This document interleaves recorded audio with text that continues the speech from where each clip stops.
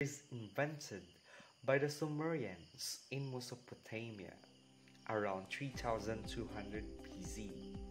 Since then, the idea of writing has spread around the world, and different writing systems have evolved in different parts of the world. Fourth, which is better, speaking or writing? In one sense, speaking is the real language, and writing is only a representation of speaking. However, for centuries, people have regarded writing as superior to speaking. It has a higher status. This is perhaps because in the past, almost everybody could speak, but only a few people could write. Fifth, what are the two spoken forms of language? Most of us are familiar only with everyday language, the language spoken by the ordinary person, ordinary worldly language.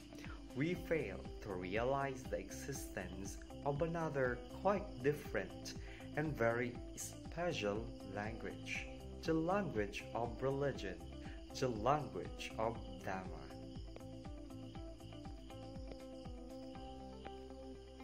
Everyday language is based on physical things and on experiences accessible to the ordinary person, being based on the physical rather than the spiritual. It serves only for discussion of physical, worldly matters and situations. It serves only for the tangible things perceived under ordinary, everyday circumstances. Dhamma language has to do with the mental world, with the intangible, non physical world.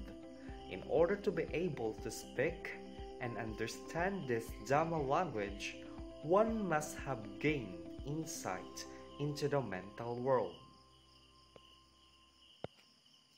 Consequently, only people who have seen Dhamma, the truth, speak the Dhamma language, the language of the non material mental world, which is above the physical. Stop, think, share. Share your most essential learning. Comment below.